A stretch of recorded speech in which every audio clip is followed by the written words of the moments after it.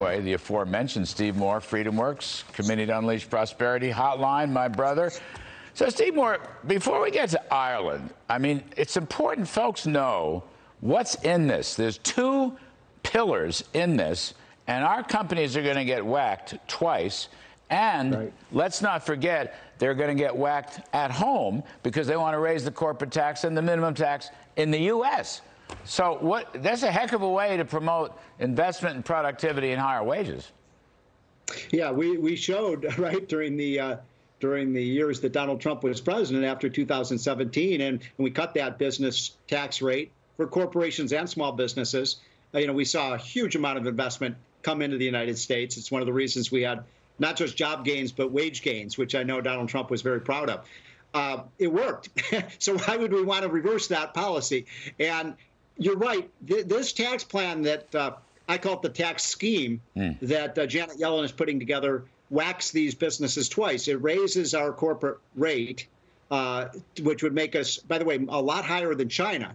And that's not a good way to compete with China. And the other thing it does is it puts in place for the first time a digital tax the Europeans have been wanting to tax our companies, our, our, tech companies, for years and years, and now Joe Biden has been is giving them the green light to do that. I mean, effectively, you are right. Look at, as I understand this, it's kind of like a trade. Instead of the digital tax per se, it's a windfall profits tax.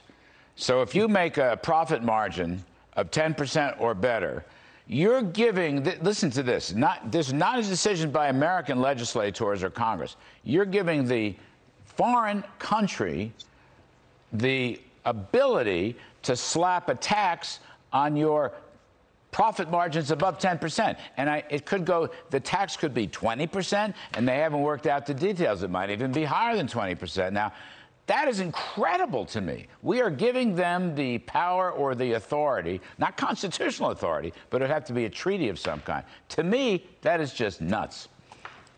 Well, we, it's not even a, a bargain because we, we lose on both fronts. We, we raise our tax rate, and then we allow foreign countries to raise their taxes on America. It's a very discriminatory tax. But to, I like the way you put it. I never thought of it that way, Larry. But it's a it's a tariff yes. that these other companies are putting on American profits. And by the way, what is a windfall profit, anyways? I mean, what's wrong with making a profit? That's what makes the world go round oh, is no. profits. Profits are terrible. They're now becoming very unfashionable in the United. Now, profits happen to be the mother's milk of stocks and the lifeblood of the whole economy. But let's put that backwards supply side classical thing aside. In the new world order of woke economics, Stephen, right? Profit's a dirty word, and I guess Europe, profit's always been a dirty word.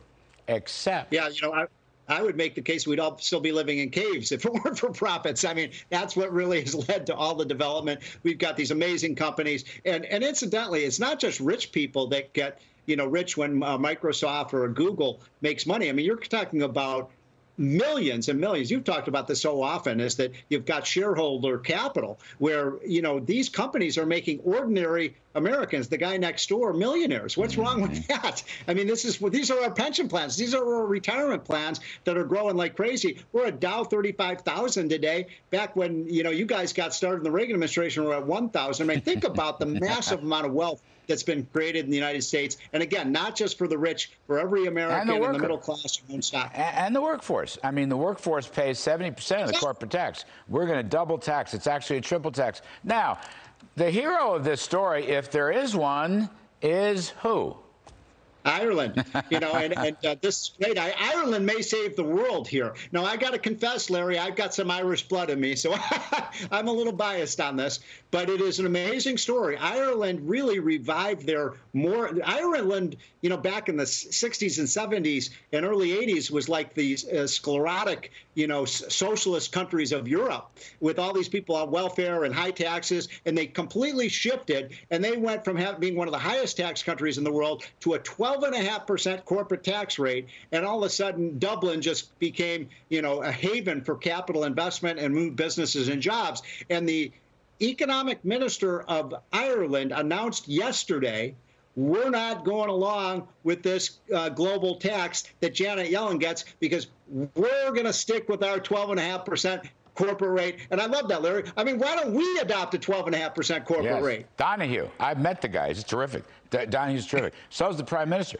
But Stephen, also Hungary at 9%. Hungary's not going Wow. to play. And then also Estonia. I don't know what their rate is, but they have a low flat tax. And I got another one for you Cyprus.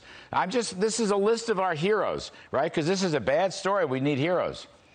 Yeah, and, and of course, uh, Janet Yellen says they're racing us to the bottom. But look, this is a, this is a system that is allowing these you know relatively poor countries really develop in a major way. Uh, so I say bravo to all those countries, and I want the United States to go. I want us to compete with Ireland. Let's go below 12 and a half. Let's go to 10. You know, I mean that that would bring so much money abroad. Remember what we did, Larry, with the uh, with Trump's repatriation tax when we brought in. I think what was it a 10% tax rate, wasn't it? And all that money came back to the United States. Yeah, fast. It came back fast in large quantities. Um, one last point, just real quick. I'm concerned. Kicking in today is this child tax credit. Uh, $3,000 if you're under six years old, $3,600 if you're six to whatever, 10, 12, 14. They should be 74 years old. Um, people are eligible up to $150,000. So, Stephen, this is like just a cash allowance with no work fare, no work requirements, no employment incentives. It's just middle class entitlement dependency. This is, and they're going to try to write it in permanently into this new budget resolution reconciliation bill. What say you on this? right. Are, is, are we being un, um, uh, not compassionate or, or what? It, it is not uh, the only thing I'm going to, uh, you know, slap you on the wrist for, Larry. Stop calling this a tax credit. It's not a tax credit. It's basically a welfare payment. It's not attached to work. I think it's a terrible idea. I want to. I want our policies to encourage Americans to get back to work. Let's reward work, not people staying on the sideline. Yeah, that's it. Very important. This debate's going to come up. It's a refundable tax credit, which just means, as you say, it's a cash payment. That's all it is. No work fare, no requirements. We'll come back to this, Steve Moore, but this is a big deal, and it's one of the biggest problems in this Democratic budget resolution. Anyway, Steve Moore, I will talk to you tomorrow on radio.